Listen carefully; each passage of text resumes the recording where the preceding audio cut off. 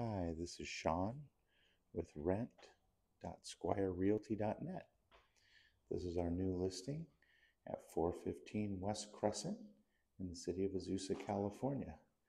This is a two bedroom, one bath. It includes all appliances, including the laundry. It has a back patio.